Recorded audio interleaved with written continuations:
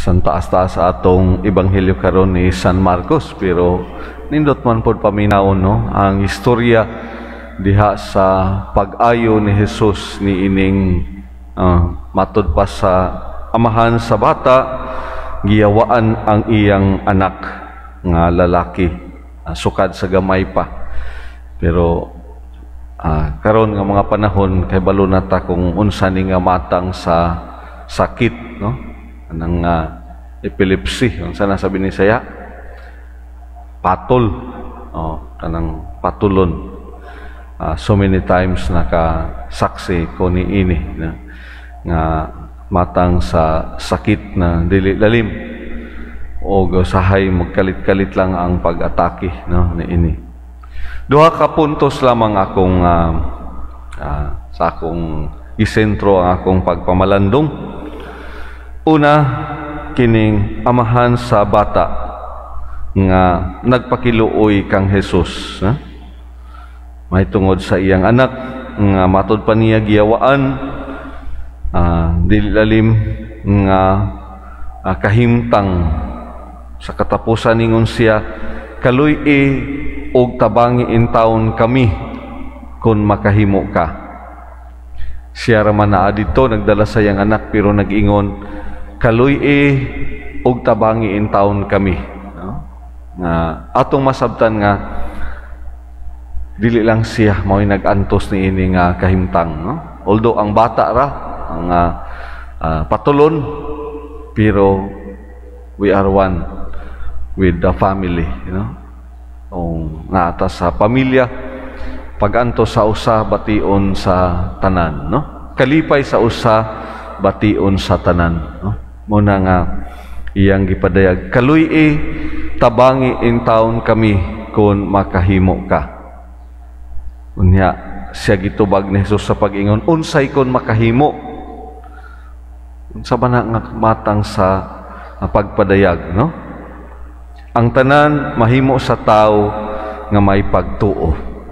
Unya dinhi nakita nato ang uh, pag-ako pag-angkon sa amahan sa iyang kaugalingon nga naghilak sa pag-ingon. Doon ako'y pagtuo apan dili pa kiniigo.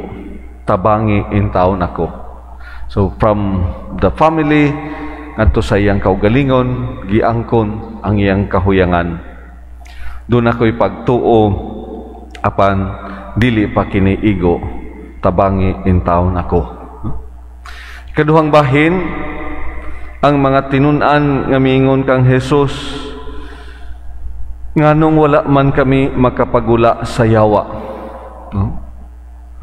sa dihang sila na lang ang uh, didto sulod sa balay nangutana sila kang Hesus nganong wala man kami makapagula sa yawa?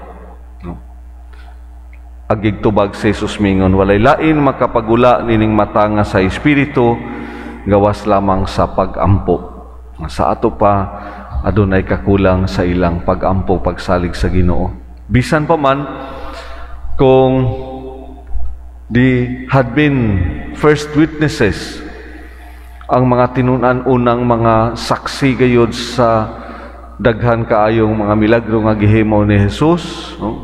pagpadayag sa mayong balita ngadto sa katawhan sila gayud ang unang recipients apan nga numan no?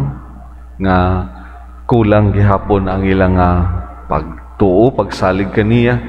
Wala gihapon nagpadayag diha sa kalig-on sa ilang pagampo. Walay lain nga makapagula nining mata nga sa espiritu gawas lamang sa pagampo. Duha ka butang sa ginaingon nako ganiha ang amahan sa bata nagrecognize sa iyang kawadon. Doon ako'y pagtuo apan dili kiniigo jutay ra ug usahay tingali no sa mga panahon nga muraga ingon pa nila when my backs are against the wall no? Usahay gyud sa mga panahon nga murag uh, lisod na gayud no? Hapit mo give up na tingali kining uh, uh, matang sa pagsalig ug pagtuo wala na gyud kay mahimo.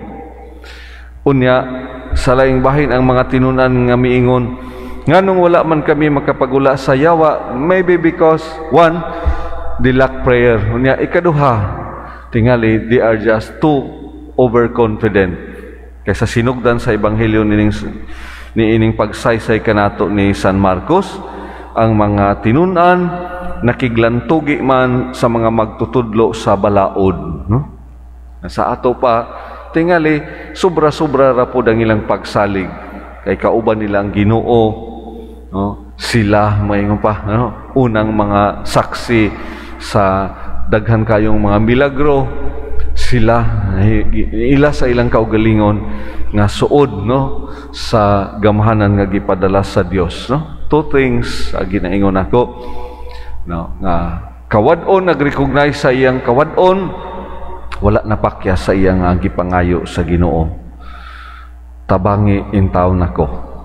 Doon ako'y pagtuo apan dili kiniigo sa laing bahin kung usab sobra ra ang atong pagsalig o sobra ra siguro ang atong uh, pagtuo overconfident no? kayang-kaya nato ni no?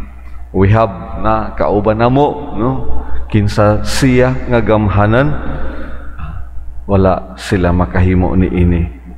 And that speaks also sa atong pagampo o sa atong uh, mga pagpadayag sa atong mga managkadaiyang uh, debosyon no? Kining duha ka puntos no? Tunay mga panahon yes we recognize our nothingness. Atong mga kakabus o ka kawad-o na tubangan sa Ginoo which is para nako labing nindot nga uh, magmapaubsanon at tubangan sa Dios nga maluluyon og motabang gayod sa atong mga panginahanglan.